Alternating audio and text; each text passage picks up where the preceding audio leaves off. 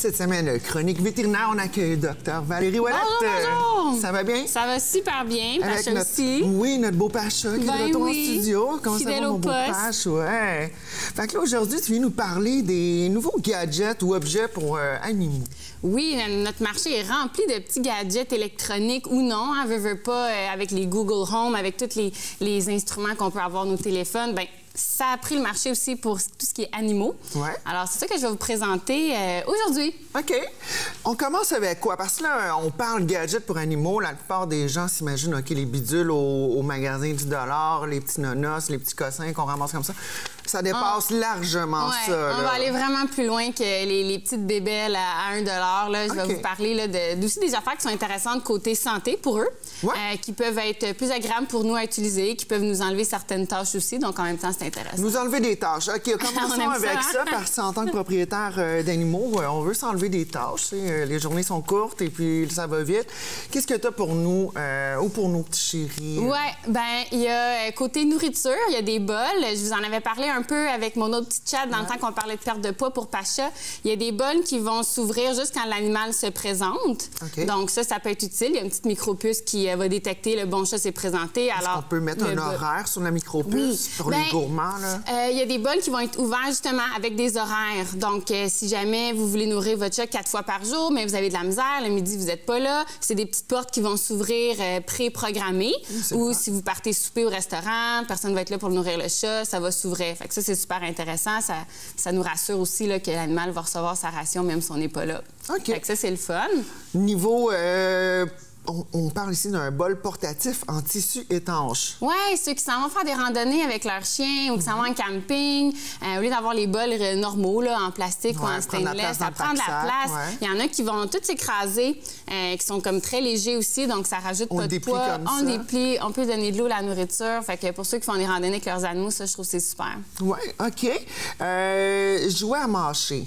Oui, les jouets à manger. Ça, je vais être honnête, c'est mon préféré. Ouais. Euh, je l'utilise même en consultation. On a des petits jouets en caoutchouc qu'on va pouvoir cacher des gâteries ou même de la nourriture en conserve. Moi, c'est ce que j'utilise, la nourriture en conserve. On met ça au congélateur. Mhm. Quand on le sort, surtout pour les jeunes chiens qui sont bien turbulents en Les petits consultation, papis, là, qui les petits papis qui ont l'énergie, on a tellement de choses à discuter avec nos clients et propriétaires.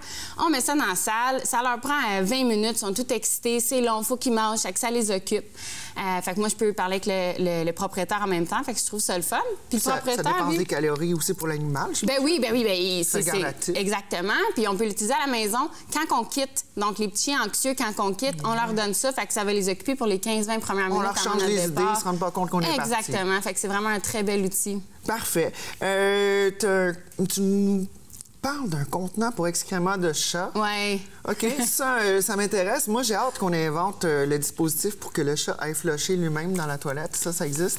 Ça, ça n'existe pas, mais il y a des choses similaires. Je vais en reparler. Mais il y a, oui, un dispositif où est-ce que, un peu comme les euh, trucs pour les couches de bébé. hein? Ouais. Les gens aiment ça, là, c'est facile. On met la couche, ça se ferme, ça sent pas. Ouais. Il y a la même chose pour les chats. Donc, ça va nous encourager peut-être à faire la litière à tous les jours, comme il est recommandé, là, pas laisser Nous ça encourager, c'est bien le mot, Nous là. encourager, c'est super proche. On peut le vider, le mettre, ça sent pas. Puis un coup que le sac est plein, ben là, on peut le jeter. On tire, on fait un petit nœud et voilà, c'est prêt ça, à sortir. C'est très intéressant. Parfait. Et puis, euh, là, parlant d'exercice, là, euh, tapis roulant.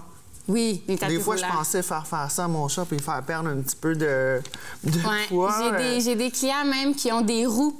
Les grandes roues pour les, Ouais. les hamsters, ben ça existe pour les chats. Euh, ceux qui ont les chats de race, les savannas, Ouais, les il bengales, bougent ils ont beaucoup. besoin d'énergie. Ouais. Donc, il existe des roues qu'on peut se faire faire, là, puis l'animal peut euh, dépenser de- beaucoup d'énergie là-dessus. Euh, ou sinon, si on a un chien, puis nous, bon, mettons que notre mobilité est réduite, puis on n'est pas capable de promener le chien autant qu'on voudrait, ben on peut l'entraîner à marcher sur les tapis roulants réguliers, là, pour humains. D'accord. On peut l'entraîner à faire ça. Fait que lui, il dépense des calories, puis en même temps, si nous, on a de la difficulté il à le finit promener. par s'habituer, puis ça devient comme. Euh, ouais, c'est un Il aime hobby, ça. puis- Tu sais, il sait qu'il s'en va dépenser. Oui, oui, il y en a qui adorent ça. là. Le chien va demander sa, petite. euh, Est-ce qu'il faut mettre un petit milk bone au bout d'une canne, euh, d'une ficelle? Ou, euh, C'est sûr qu'au début, on y va avec beaucoup de gâteries, à très bas régime. On donne une petite gâterie, on l'encourage. Puis après, l'animal, il comprend, puis il vient qu'à aimer ça. Parfait. Et puis, rampe et escalier pour chiens. Oui, ça, c'est pour les plus vieux. Donc, euh, leur mobilité, eux, là, devient réduite. Là. Ça leur Ouais. tour, eux autres aussi, quand ils vieillissent. Fait que les gens qui ont beaucoup d'escaliers, même dehors, ou euh, ceux qui ont, euh, bon, les divans, les lits, que les animaux voulaient aller se coucher, c'est Ouais. dur pour eux sauter. Plus difficile. Fait qu'il existe des, des petites marches ou des rampes qu'on peut installer pour euh, alléger là, leurs petites hanches ou leurs petites pattes qui ont des petite rampe douleurs. d'accès là, pour notre, Ouais, notre ouais, toutou ça, ça favori. existe. Fait que vous pouvez vous procurer ça aussi. Là. Puis là, si on rentre dans la section électronique, là, euh, euh, écoute, je vois la liste, ça n'a pas de fin, là. Euh, ton best-of, là, ceux qui te marquent le plus. Euh, c'est sûrement les dispositifs à la maison de caméra, où est-ce qu'ils vont pouvoir surveiller ce que votre animal fait, surtout pour les chiens qui ont des animaux anxieux, qui savent pas trop, l'animal jappe beaucoup, on va pouvoir le surveiller. Il y en a même qui lancent des gâteries pour récompenser des bons comportements. Sur son cellulaire. Ah, ah, ah, il s'ennuie. Oui, on peut y parler. C'est sûr que dans tous ces gadgets-là, c'est pas obligatoire, c'est pas nécessaire, mais ça peut rajouter un petit plus à notre relation pour la santé de notre animal aussi, pour les aider. là. Ou simplement parce qu'on tripe gadget, là. Moi, je vois litière automatique. Parle-moi d'une Les litière, litières automatique. automatiques, ben, je vais vous en parler, mais c'est pas mon top. D'accord. Euh, J'ai regardé beaucoup les litières automatiques. La plupart, je trouve qu'elles sont trop petites. OK? Les chats, ce qu'ils voudraient, c'est une très grande litière, comme un carré de sable, Mhm. pour aller faire leurs besoins. La plupart de ces litières-là, puis il y en a même que c'est leur, euh, leur euh, petit speech de vente, si je peux me permettre, qu'elle est petite. Mais les petites litières, les chats, généralement, n'aiment pas ça. Ils peuvent pas tourner comme ils veulent.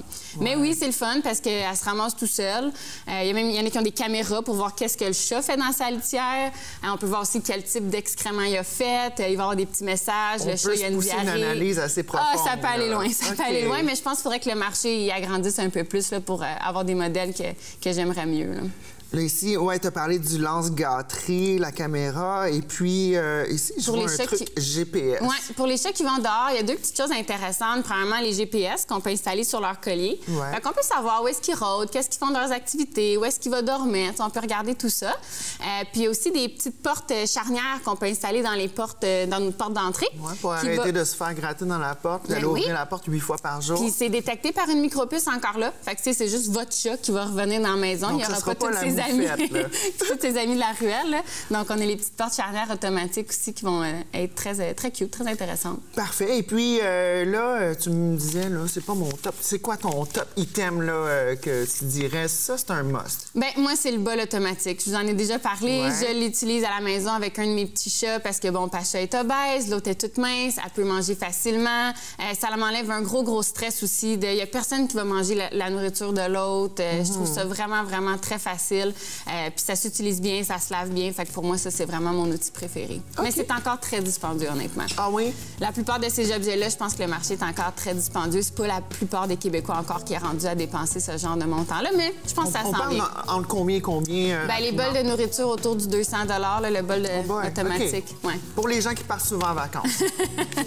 un gros merci, Dr. Val. m'a fait plaisir. Alors, euh, Chronique vétérinaire, ben, euh, vous pouvez en savoir plus en allant visiter sa page Facebook et Instagram. Hi.